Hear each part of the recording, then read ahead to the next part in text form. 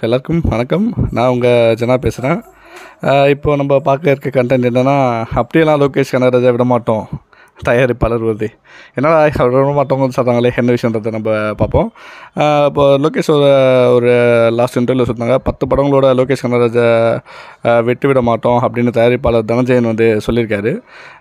அதாவது இந்திய அளவில் இப்போது பிரபலமான இயக்குனர்னு ஒருவர்னா அது நம்ம லோகேஷ் கனகராஜ் தான். அதுவும் மாநகரத்தில் தொடங்கி விக்ரம் வரை அவர் இயக்கிய அனைத்து படங்களுமே ஹிட் ஆனதால் அவருடைய டிமாண்ட் வந்து இப்போது அதிகமாக இருக்குது குறிப்பாக விக்ரம் படத்தில் மெகா பிளாக் பஸ்டர் அவருடைய உச்சத்தில் கொண்டு போய் நிறுத்தியிருக்கு இதன் காரணமாக பிற மொழி நடிகர்களும் லோகேஷோட இணையத்தில் வந்து ஆர்வம் காட்டி வராங்க.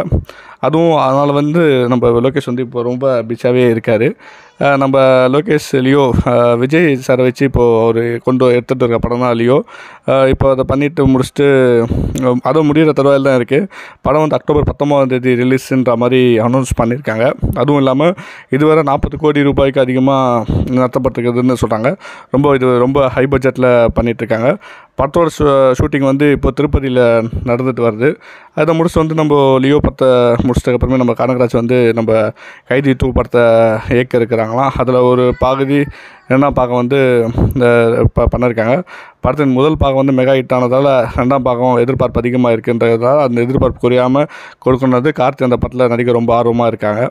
இருப்பினும் கைதி டூவை வந்து ஆதரிப்பதற்கு முன்னதாக லோகேஷ் வேறு ஒரு பிளானில் இருந்ததாகவும் கூறப்படுது. அது விக்ரம் வந்து படத்தோட பிரம்மாண்ட வெற்றிக்கு பிறகு நம்ம ரஜினிகாந்த் சாரோடைய ஆசையும் லோகேஷோட இணைய போகிறதா ஒரு தகவல் வெளியாச்சு.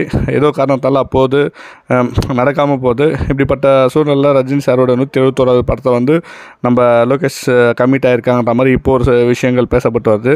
ரஜினியோட கடைசி ரஜினி சாரோட கடைசி படமாக இது இருக்குன்ற மாதிரி ஒரு தகவலும் வருது. அது உண்மையானது தெரியல உலாவி தான் வருது.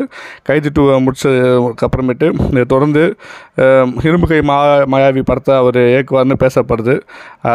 இப்படி லோகேஷோட கனகராஜோட இயக்கத்தில் வந்து ரஜினி சார் சூர்யா சார் நிறைய பேர் போட்டி போட்டுட்டு இருக்காங்க. சமீபத்தில் ஒரு பேட்டி ஒன்றில் வந்து ஓப்பனாக சொல்லியிருந்தார். அவரோட இந்த பேட்டி பலரையும் அதிர்ச்சிக்கு ஆ- ஆச்சரியத்துலையும் உள்ளாக்கிச்சு.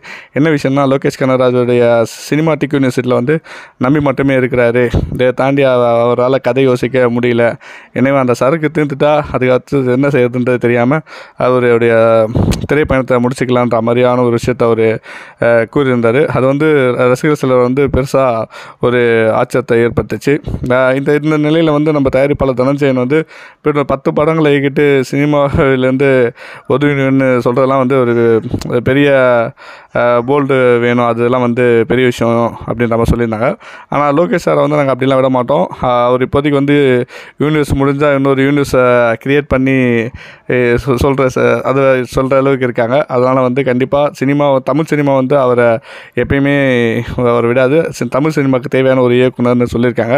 ரஜினி சாரும் லோகேஷ் இணைவது உறுதியாயிடுச்சு. இந்த பெரிய பிளாக் பஸ்டர் படமாக மாற்றணும்னு ரஜினி சார் உறுதியாக இருக்காங்கன்ற மாதிரி சொல்கிறாங்க அதே மாதிரி லோ லியோ முடிந்த பிறகு தான் இந்த படம் அறிவிப்புக்கு வருன்ற மாதிரி ஒரு விஷயம் சொல்கிறாங்க இதில் யாஷ் நடிக்கிறாருன்ற மாதிரி ஒரு புது தகவலும் எழும்பியிருக்கு. கண்டிப்பாக இது வந்து உறுதியானதுக்கப்புறமேட்டு அவர் அஃபிஷியல் அனௌன்ஸ்மெண்ட் வரும். அதை நம்ம வெயிட் பண்ணி பார்ப்போம். Thank you all